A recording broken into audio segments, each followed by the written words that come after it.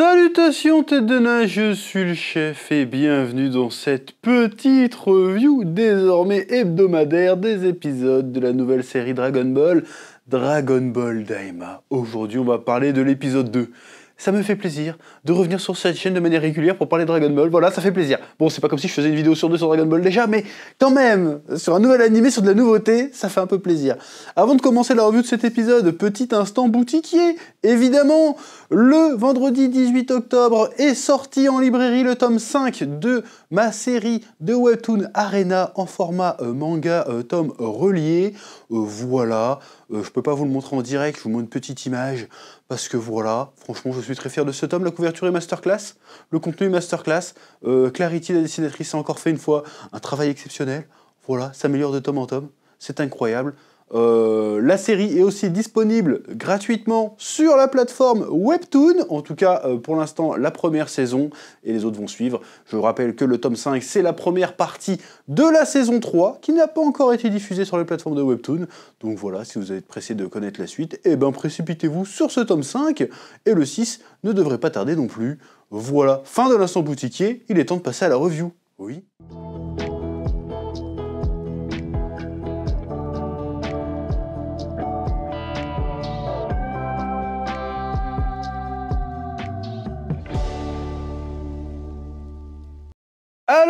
Cet épisode 2 de Dragon Ball Daima arrive après un épisode 1 qui a l'air d'avoir euh, convaincu la majorité des fans de Dragon Ball. Alors, il y a toujours des sceptiques et il y en aura toujours avec Dragon Ball. Euh, bon, la question était de savoir est-ce que on a le côté émerveillement parce que c'est le premier épisode et que ça faisait longtemps qu'on attendait un nouvel animé Est-ce que l'épisode 2 va confirmer euh, les craintes ou euh, confirmer les, les, les, comment dirais-je l'enthousiasme. Bon, pour ma part, pour le moment, je dis bien pour le moment, il y a peut-être la malédiction des trois épisodes. Pour le moment, j'ai accueilli ce second épisode avec bienveillance. Euh, franchement, je trouve qu'on a bien mangé avec ce second épisode parce que, bah, je vais quand même taper dessus, euh, calme-toi. parce que il y a encore cette ambiance de, ok, il y a une nouvelle aventure, ce qui se trouve qu'en ce moment, je l'ai déjà dit la dernière fois, mais en ce moment, je relis Dragon Ball depuis le début. Euh, je, fais la lecture à mon fils, si tu veux, et on lit Dragon Ball ensemble. Euh, il a 3 ans, donc voilà, c'est accessible. Avec l'édition full color de chez Glénat, qui est très bien d'ailleurs. Et je retrouve avec l'épisode 2 de Daima et même avec l'épisode 1, je retrouve quand même cette ambiance Toriyama, euh, cette ambiance Dragon Ball du début. Alors certes, il faut se dire qu'on va pas aller sur du Dragon Ball Z, parce que c'est ça qu'on attendait avec Dragon Ball Super hein, euh, à la base, c'est qu'on voulait prendre Dragon Ball Z, la partie Dragon Ball Z, je dis Dragon Ball Z, alors je sais que le manga est indivisible en réalité, mais voilà, je prends la partie Dragon Ball Z, c'est-à-dire euh, pouvoir, transformation, combat contre le mal, tout ça. On voulait ça, mais l'amener encore plus loin. Et on l'a plus ou moins eu, mais pas comme on le voulait. Voilà. Et pour moi, ce Dragon Ball Daima, et ça a été annoncé comme ça depuis le début d'ailleurs, c'est vraiment du Dragon Ball retour aux sources. Il y en a, ils vont me dire, c'est comme ça qu'on nous avait vendu Dragon Ball GT aussi à la base. Bon, Dragon Ball GT, c'est juste la première saison qui est Dragon Ball, et après on repart sur du Dragon Ball Z++. Euh, voilà. Et moi, Dragon Ball GT, j'ai toujours chié dessus, et je continuerai à chier dessus, parce que c'était pas bien, Dragon Ball GT. Alors certes, il y avait des bonnes intentions, mais c'était pas bien. Dragon Ball Super, on sait même pas s'il y avait une intention de base avec Dragon Ball Super. Voilà, bref. Mais c'était moins pire que Dragon Ball GT. Ah, ça, je, je, n'en démordrai pas, même sur mon lit de mort, j'en ai rien à foutre. Bref, donc Dragon Ball Daima.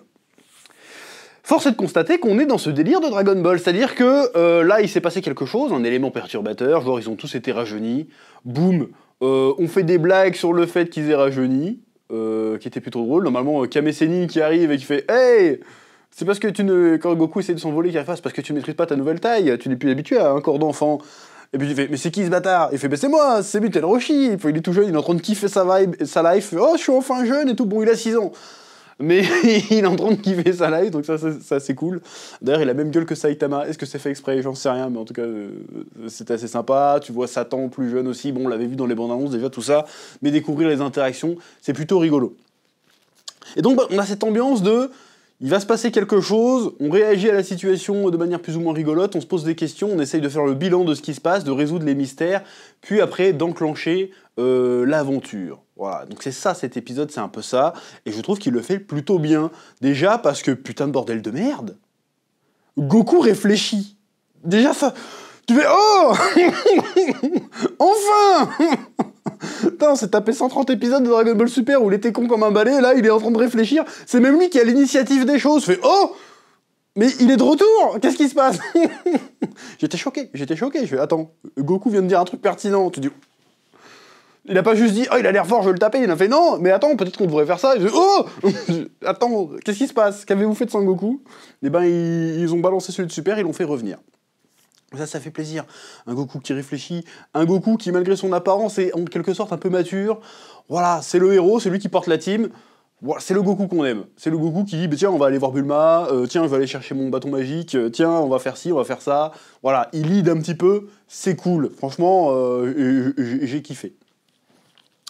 Donc voilà, il y a cette ambiance un petit peu, on fait des gags, on voit les personnages vivre en fait. C'est ça que j'aime bien. Euh, dans Dragon Ball aussi, le manga de base, c'est que tu vois les personnages vivre, avoir des interactions. C'est des vrais, c'est des gens, ils sont pas juste là euh, pour faire euh, office d'une, pour remplir une fonction ou dire le, mot de dialogue qu'il faut pour faire avancer l'histoire. Non, il y a des vraies interactions. Tout le délire avec Bulma qui prend, qui prend Kibito pour son larbin, c'est un peu drôle. Voilà, fait, hey, Kibito, tiens, va me chercher ça. Hey, Kibito, tu veux pas m'emmener là-bas et tout? C'est un peu marrant un peu Kibito qui disait que mais t'as cru que j'étais ton Uber bâtard. C'était drôle tu vois. Il y, a des, il y a des interactions qui sont marrantes. Euh, même Goku euh, Piccolo qu'on voit des vannes à Goku genre ah, si tu maîtrises pas ton corps je croyais que t'étais un expert en arts martiaux regarde comment on fait qui se pète la gueule derrière. Bah voilà il y a des vraies interactions ça fonctionne. Alors il y en a qui ont trouvé ça ennuyeux. Je peux comprendre qu'on est dans l'optique de en fait non en fait je peux pas comprendre. Je, je peux je peux je peux je peux je peux intellectuellement je peux comprendre si tu veux mais je comprends pas. Parce que dans Dragon Ball, même si tu te bases sur l'animé de base Dragon Ball Z, il y avait beaucoup de passages comme ça aussi. Hein. Encore plus avec les fillers, hein. je te raconte même pas les trucs de merde qu'on s'est tapé. Là, c'est juste des personnages qui interagissent entre eux, qui réfléchissent. Bon, vas-y, euh, là il s'est passé ça. Comment il a eu le Dragon Ball? C'était qui le gars? Qu'est-ce qui, Où, est-ce qu'il est parti? Comment on fait pour les récupérer? Comment on fait pour, euh, résoudre cette situation?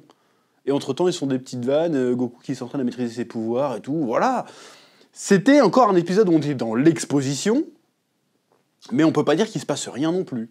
Voilà, donc pour cet aspect-là, j'ai trouvé l'épisode plutôt rigolo, plutôt cool. Évidemment, il y a encore le côté fanservice, on a des petits flashbacks de l'arc-bout une fois de plus.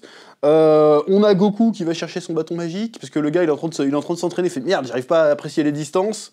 Euh, zut, il faudrait que je trouve une solution, mais là j'ai pas le temps de m'entraîner euh, plus que ça. il fait Oh bah, je vais aller chercher mon bâton magique, il va aller chez voir Maître Karine. Euh, il est où mon bâton magique? Bah, Il est chez Tortue Génial. Et Tortue Génial, comme c'est un mongol comme d'habitude, euh, comme euh, son, palmier en feuille de bananier, son, éventail en feuille de bananier pour éteindre la montagne de feu à l'époque, bah, le gars il s'en est servi comme dessous de plat, il l'a sali, il l'a jeté. Le bâton il fait bah tiens, ça va, servir d'étendoir pour le linge. Voilà, c'est rigolo, c'est con, mais c'est rigolo. Et puis t'as le, as le flashback. Voilà. Quand le mec il revient, fait Eh, regardez ce que j'ai trouvé. Et il monte son bâton magique, et il y a Piccolo et Vegeta qui font Mais c'est quoi ça? Mais tu te dis Mais putain, mais c'est vrai qu'ils l'ont jamais vu. J'avais jamais capté que pour Piccolo et Vegeta, le bâton magique, ils savent pas ce que c'est. C'est un truc de fou en fait quand ils pensent. mais putain, mais oui, ils savent pas ce que c'est. Il y a que Bulma qui reconnaît Oh, ton bâton magique, il était passé où? J'avais jamais connecté le truc, genre attends, mais c'est vrai. Ils l'ont jamais vu parce qu'ils l'utilisaient déjà plus à cette époque-là, tu vois. C'est un truc de fou en fait. Et donc ça pose aussi une question. Euh, bon, je vais revenir après à cette question-là. Je vais y revenir après. Donc j'ai trouvé ça cool, le passage avec le bâton magique était cool. Alors je sais que c'est Nyoibo, je sais pas quoi, je dis bâton magique parce que je suis un vieux. Donc ça c'était plutôt cool. Et que, euh, et que est toujours en train de kiffer devant son miroir. Ouais, je suis jeune, pouvoir draguer les poulettes et tout. Euh, frérot, t'as 6 ans. Bon. Mais bon, bref. Donc c'était assez cool. Euh, par contre, par contre, par contre, par contre, par contre, euh, il va falloir régler cette question de, continuité une bonne fois pour toutes. Parce que là, je commence à me poser des questions quand même. Euh, je sais que je vais être chiant avec ça, mais j'ai besoin d'une déclaration claire et précise. si vous me dites Dragon Ball Daima, c'est un autre embranchement et on prend pas en compte ce qu'il y a eu après, je dis allez pourquoi pas d'accord why not? Sauf que vous envoyez quand même des signaux contradictoires. À un moment donné, vous, là, il y en a plein qui défendent cette théorie-là. Je dis pourquoi pas, sauf qu'il y a des problèmes. Je veux dire, à un moment donné, euh, dans le premier épisode, quand euh, Goma et Degesu ils veulent arriver dans l'univers 7, ils disent on veut aller dans l'univers 7. Donc ça veut dire qu'il y a toujours le délire des univers euh, numérotés qu'il y avait dans Dragon Ball Super. Donc quelque part, on reste dans le délire. Tu vois, par exemple. Et là, il y a des trucs qui sont, assez bizarres. Bon, évidemment, j'ai pas, pas parlé du, truc où ça, a beaucoup parlé, le fait que Mister Popo, en réalité, il ait des cordes sur la tête, euh, par exemple. Voilà, c'est pas une histoire de canon, je, je, rebondis d'un sujet à l'autre. Euh, donc on voit Mister Popo bébé, et qu'il a des cordes sur la tête qui confirment que ce soit, que c'est un, que c'est un magine. Voilà, bon, je suis content de voir ça parce que ça fait des décennies que je me prends la tête avec les gens sur Mister Popo en disant mais Mister Popo n'est pas un humain, bordel de merde. Notamment quand tu vois les polémiques autour de la soi-disant blackface de Mister Popo, hein, parce que dans la version euh, 4Kid de Dragon Ball, il est bleu parce que oh ça fait blackface. Ça n'a jamais été un humain, Mister Popo, vous me cassez les couilles. Donc voilà, là tu vois bien, c'est pas un humain, c'est un démon avec des, des cornes. Voilà, faut arrêter les conneries maintenant. Bref. Donc il y avait ça.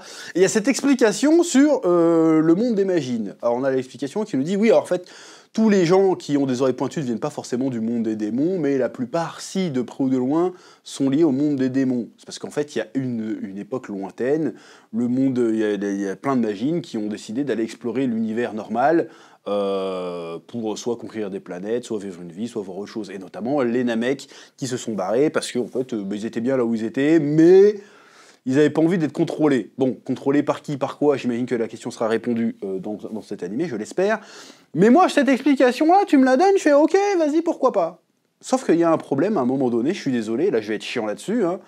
c'est que euh, quand euh, Mister Popo il dit ouais, il y avait un mec qui s'appelait Neva, et Piccolo fait Oh, Neva Mais j'ai déjà entendu parler de lui C'est le Namek qui est resté dans le monde des démons quand, quand il y a eu l'exode des Namek Et là, tu dis Attends, attends, attends, attends. Comment tu sais ça, bâtard? On se souvient tous d'une case du manga où il y a Nappa et Vegeta qui arrivent, et ils font Oh bah tiens, c'est un Namek C'est pour ça qu'il sait faire des Dragon Ball en fait Et Piccolo fait Namek Mais qu'est-ce que c'est? Et là tout d'un coup, il savait même pas d'où il venait le gars, il était persuadé d'être un démon, bon il avait à moitié raison du coup. C'est tout ce qu'il y avait comme explication. Même le Tout-Puissant à l'époque ne savait pas d'où il venait. Et là, Piccolo, il te sort, mais oui, euh, on a entendu parler, évidemment. D'où on a entendu parler, sale bâtard. Alors, a, ils vont dire, oui, mais c'est quand il a absorbé Nail. Il a pris la puissance de Nail, il a pas pris la, personnalité de Nail. Donc ta gueule, déjà, je, dis non. Euh, c'est quoi ce délire? Il a appris ça où, le gars? Alors peut-être tu vas me dire, ouais, mais peut-être qu'il a eu des interactions avec les autres Namek, on n'est pas au courant, on sait pas. Peut-être, mais là tu me sors un truc comme ça, genre Piccolo il se souvient, tu fais, euh, attends, c'est comme si Goku, il, tout d'un coup, ah oui, la planète Vegeta, je m'en souviens, mais ta gueule, tu as jamais foutu les pieds. Tu vois ce que je veux dire C'est très très bizarre que Piccolo ait ce genre d'infos. Euh, que Kaioshin ait balancé ce genre d'infos, à la limite, ok. Mais que Piccolo sorte ça, ça m'a un peu sorti du truc, ça m'a fait un petit peu tiquer. Et il y a un autre truc qui m'a fait tiquer, j'en ai même pas parlé tellement c'est énorme, ça m'est sorti de la tête. On en parlera après. Euh, autre chose, c'est Kaioshin, c'est pour ça que je dis qu'on jongle entre. Euh, c'est la continuité de. Quelle continuité on parle Kaioshin, il fait Oui, moi-même, je viens du monde des démons, nanana, et euh, je suis venu dans votre univers il y a longtemps. Et là, tu fais Attends, attends deux secondes. Tu viens pas de l'univers 7. Ok, tu viens du monde des démons, ok. C'est pas. Parce que moi, je me dis Il vient du monde des démons. Je dis Mais non, mais il vient du. il est originaire, mais euh, tu sais, genre, ses parents viennent de là, tu vois. Non, lui, vient du monde des démons, il connaît bien le monde des démons. Et du coup, il est venu dans cet univers, et puis, du coup, il est devenu Kaioshin. Il va falloir nous expliquer comment on fait pour devenir Kaioshin, parce qu'à un moment donné, ils ont tous l'air d'être de la même espèce, et finalement, euh, ça serait peut-être pas le cas, c'est très bizarre. Et il dit oui, je suis venu avec mon vaisseau il y a je sais pas combien d'années, et il fait venir son vaisseau, et son vaisseau il est abîmé, un peu comme le vaisseau du Tout-Puissant à l'époque de Namek.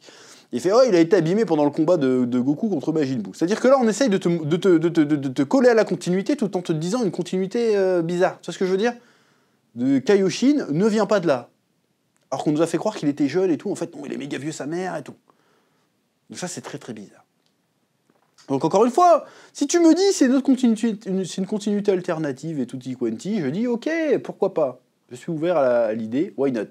Mais faut nous l'expliquer à un moment donné, faut une déclaration officielle, parce que sinon on va se prendre la tête pendant longtemps avec cette histoire. Hein. Voilà. Et me sortez pas, mais non, mais c'est pas si important. Si, c'est important. Je suis désolé, euh, il faut expliquer les choses. C'est le principe d'une œuvre. Sinon, ton œuvre, c'est juste une succession de scènes. Euh, voilà, faut qu'il y ait une cohérence, faut qu'il y ait une vraisemblance à un moment donné. S'il vous plaît, c'est tout ce que je demande. Par contre, là, il va y avoir, là, je vais peut-être gueuler un petit peu. Euh, je sais pas si le troll est magnifique ou si c'est du foutage de gueule, en fait. Shenron, il fait un vœu, le gars il fait Eh, je croyais que j'avais trois vœux. Il fait Non, ça c'est juste, pour les... juste pour les habitués, pour les bons clients. Toi, je te connais pas, j'aime pas ta gueule, je me casse. Tu fais Attends.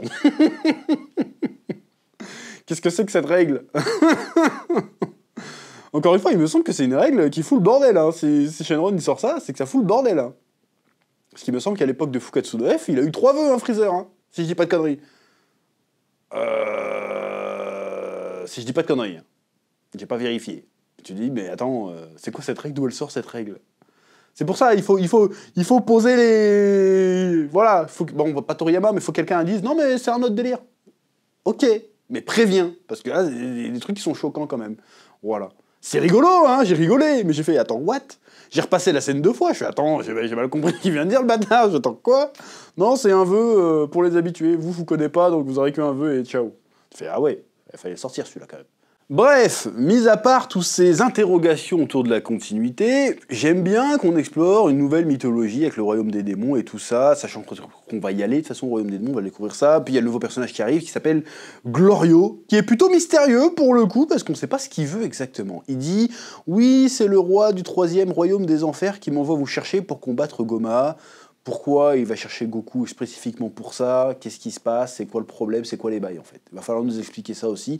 Évidemment, quand je dis ça, je me plains pas, c'est que je montre. Je, Parce qu'il y en a dire ouais, tu, tu, te plains alors qu'on n'a pas vu. Je me plains pas. Je dis juste que je me pose la question de qu'est-ce que ça va nous raconter toute cette histoire. Alors j'imagine qu'il va y avoir des tas de théories, mais qui est ce troisième roi des démons? D'où il connaît Goku? Tu te dis oh si ça se imagine, imagine c'est Diableman. Là tu fais oh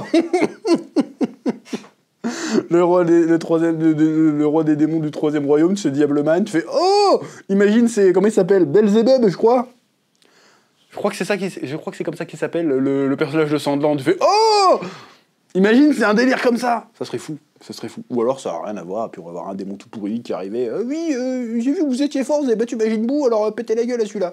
Voilà. Après, je me, pose la question un peu de comment, à quel point est fort Goma. Parce qu'on sait que Dabra, à l'époque, était aussi fort que Cell. Euh, donc est-ce que Goma est aussi fort aussi, un peu moins fort? On ne sait pas, on verra bien. Mais en tout cas, euh, tu sens que Daima, ça pue l'aventure à plein nez. Euh, d'ailleurs, l'opening et l'ending le montrent bien. D'ailleurs, cet opening et cet ending, ces nouvel opening et ce nouvel ending, ils ont quand même un parfum Dragon Ball GT pour le pire ou le meilleur, on le verra. Mais il y a quand même un gros parfum de Dragon Ball GT dans l'opening et dans l'ending. En mode, euh, on voit Goku voyager avec ses potes, découvrir des endroits, euh, jouer avec des animaux, des machins. Et même l'opening, il y, a une espèce de. Il a un parfum nostalgique. Hein, comme l'opening de, de, Dan Dan de Dragon Ball GT. Alors je dis pas qu'il est aussi bien, on va pas déconner quand même, mais il y a cette même vibe euh, nostalgique. Oh, c'est nos personnages, oh, ils sont là, oh, c'est trop cool de les voir, tu vois. Donc, est-ce qu'on essaye de nous faire un Dragon Ball GT réussi?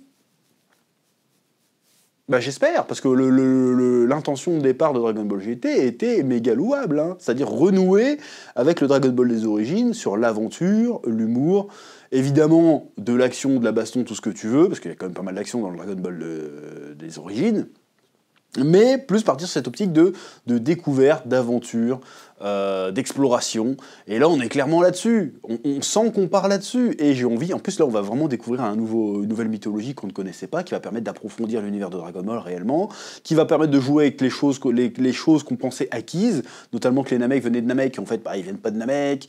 Euh, l'origine des Dragon Ball, il y a des Dragon Ball antérieurs à ceux de la Terre, et même à ceux de Namek. Bon, on avait déjà vu les Dragon Ball Super pour l'instant, ils ne les ont pas évoqués encore. Donc ça peut-être peut aucun rapport. Peut-être que les Dragon Ball Super, ça n'existe plus. On n'en sait rien. En tout cas, à ce stade-là, voilà. Donc il y a une espèce de mythologie sur les Namek qui, est super intéressante, sur les démons qui est super intéressante. Et pour peu que ça soit bien exploité, que ça, que ça serve à raconter vraiment quelque chose d'intéressant, ça peut être super cool, encore une fois. Si on met de côté le délire, ah, les nouvelles transformations, les power-up, les machins, et qu'on se concentre que sur l'aventure, l'exploration, euh, l'humour, euh, bah, ça peut être vraiment cool. Surtout que là, le deuxième épisode, il est bonne ambiance. Moi, j'ai kiffé. Les interactions entre les personnages et tout, c'était cool. Voilà, le fait qu'en plus, apparemment, euh, Goku ne sera pas le seul. Euh, le seul à, faire, à régler toute l'histoire. Hein. On voit dans le générique qu'apparemment Bulma euh, Satan aussi apparemment, euh, que Bulma, Piccolo et Vegeta seront au moins aussi présents que, Goku, qui vont les rejoindre avec d'autres vaisseaux et tout. C'est cool, c'est-à-dire qu'on a un peu la, team de l'époque Dragon Ball, sauf que bon, ils ont viré Yamcha et Olong, évidemment, parce qu'on s'en bat les couilles à leur gueule, ils ont remplacé par Vegeta et Piccolo. Voilà, moi faire une interaction euh, Vegeta en mode exploration, ça peut être super drôle. Ça peut être cool. Donc voilà, pour l'instant, je suis toujours plus ou moins... Je vais pas dire que je suis conquis, quand même, parce que je reste toujours méfiant avec Dragon Ball, mais pour l'instant, c'est encourageant. Ce que j'ai vu est encourageant. J'ai pas vu vraiment de fausses notes. À part les délires de continuité qui me paraît bizarre, certaines règles qui sont inventées au fur et à mesure, euh, genre la règle de, la Shenron, d'où ça sort ce truc-là? C'est-à-dire que le Goma, il veut faire un vœu, ça passe pas, mais Freezer tranquille, c'est très bizarre. enfin bref. Donc je me pose la question, euh, me pose des questions, je me dis bon, qu'est-ce que ça va être, qu'est-ce que ça va donner? Pour l'instant, c'est plutôt enthousiasmant. Je suis content de revoir mon, voir mon épisode tous les vendredis soirs. Voilà. Euh, bon, ça fait que deux semaines, tu vas me dire, mais voilà, il y a un rendez-vous, il y a quelque chose, il y a quelque chose à découvrir, il y a toujours quelque chose euh, sur quoi parler, sur quoi théoriser même. Donc pour l'instant, moi, Dragon Ball Daima, c'est encourageant, c'est encourageant. Il y a des trucs très chelous, mais c'est encourageant. Voilà.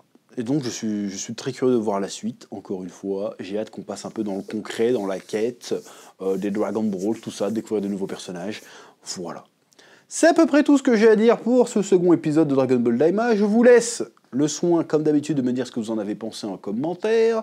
N'hésitez pas à mettre un petit pouce bleu, à vous abonner si ce n'est pas déjà fait. Je vous dis à très bientôt sur le chef Otaku pour de nouvelles reviews de Dragon Ball Daima, ainsi que des nouvelles euh, vidéos qui parleront d'autres mangas ou animés, bien évidemment. Voilà, en attendant, si vous voulez suivre les autres animés de la saison, je vous invite à aller sur ma chaîne Spatule Bro, hein, la chaîne secondaire, où là on fait des reviews euh, de Bleach, euh, Ranma Demi, Dan Dan et d'autres trucs. Voilà, que la passion vous guide, et n'oubliez pas Dragon Ball, c'est la vie, et espérons que Dragon Ball Daima soit la vie aussi.